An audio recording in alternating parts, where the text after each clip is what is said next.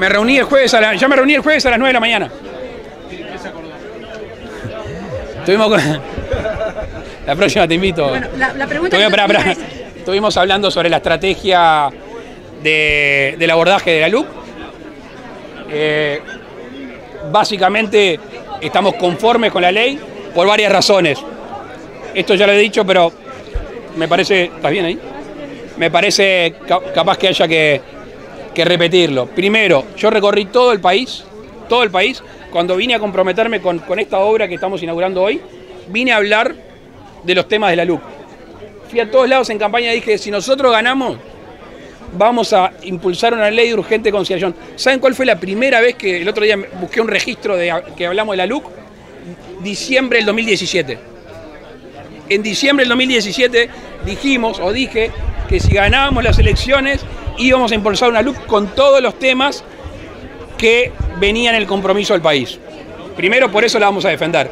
Segundo, en enero del 2020 difundimos el documento del contenido de la LUC.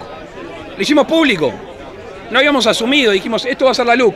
Tercero, 15 días antes de presentar la ley, como estábamos con todo el tema de la pandemia y no queríamos empezar un proceso y que recién ahí se enteren, hicimos girar el texto final de la LUC y lo tuvieron todos los legisladores, bueno, toda la opinión pública de todo el país. Y después se votó. Lo votaron los partidos de la coalición y otro partido. Y además muchos artículos se votaron entre todos. Aprobada la ley, disculpen, aprobada la ley de urgente consideración. 15 meses. Mi pregunta es, ¿qué perjuicio ha generado? Porque si se supone que vamos a juntar firmas para un referéndum es porque la ley generó perjuicio. Esta pregunta para mí alcanzaría para un instrumento. Mi respuesta, obviamente, que puede ser que otros tengan una distinta, es que no ha generado ningún perjuicio. Después avanzamos. ¿Ha generado algún beneficio? Sí. Para mí sí. Y ahora, disculpen, lo voy a aburrir ya que tengo, me prestan los micrófonos, lo voy a aburrir. En seguridad, notoriamente, notoriamente, ustedes que son acá de Colonia, la policía no sentía ningún tipo de respaldo. El ciudadano se sentía que no estaba respaldado por la ley. Se avanzó, se avanzó en propuestas que los vecinos hacían desde el 2004. Desde el 2004 que lo venían reclamando. Y los registros de seguridad será discutible si la pandemia ayudó o no ayudó, hay que ver otros países, pero los registros de seguridad son otros. En eso no podemos volver atrás. Hay que defender la libertad de los uruguayos. En el tema de los alquileres, si me voy a detener un poquito acá, ¿saben por qué? Porque es un proyecto de ley que yo presenté el año 2007, me parece. O sea, me hago cargo totalmente de ese tema.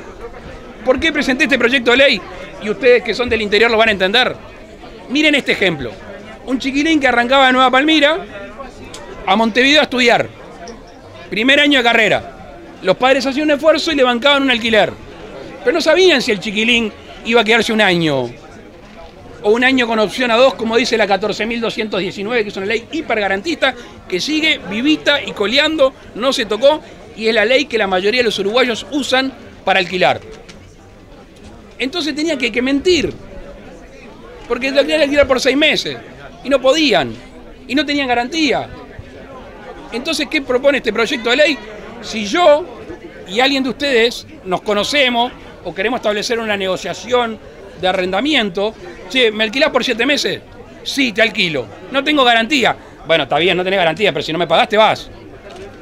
Bueno, a eso le dimos un formato legal. Está la 14.219, que es la que usa todo el mundo, y tenemos la posibilidad, porque yo confío en ti, tú confías en mí, de hacer un contrato distinto. Por un lado no hay garantía y por otro lado asegurame que me devolvés la casa si sos mal pagador. Solo para los casos sin garantía. Pero por supuesto, pero aparte, perdón, eh, eh, insisto, la 14.219 es la ley de alquileres que usa la gran mayoría de los uruguayos. Hipergarantista, un año con opción a dos, eh, eh, desalojo, lanzamiento, todo lo que ustedes conocen. Esto es otro camino legal que se abre para el que quiere. Y es una muy buena herramienta.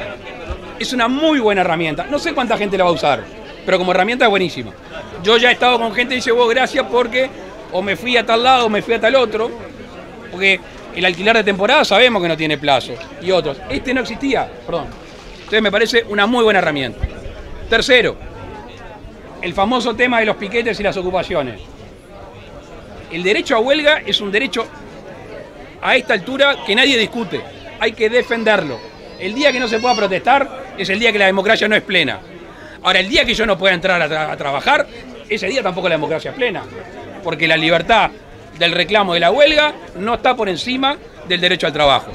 Y si yo soy una persona que no me quiero perder el jornal, porque necesito ese jornal, voy a entrar. Y le digo más, el otro día ponía el caso de la empresa Friopan, ¿no vieron las fotos ustedes de lo que dejaron, el desastre que dejaron?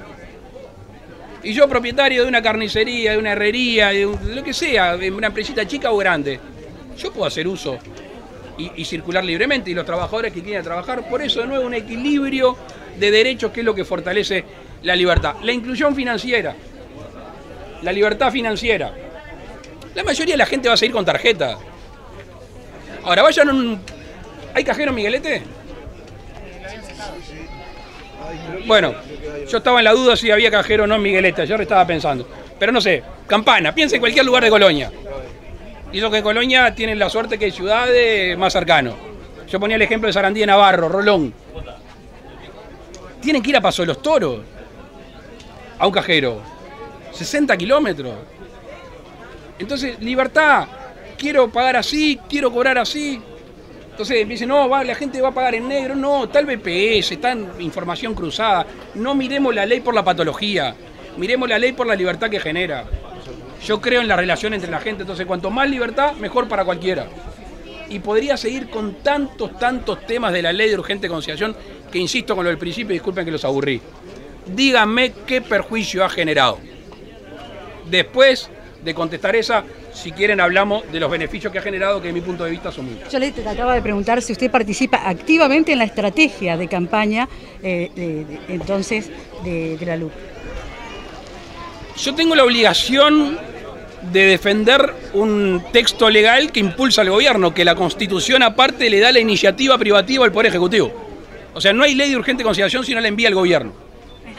Entonces tengo el derecho y casi el deber. Por supuesto, por supuesto, dentro de lo que la Constitución y la ley habilita al presidente de la República. Si el presidente de la República no cumple con la Constitución y la ley, de ahí para abajo todo el mundo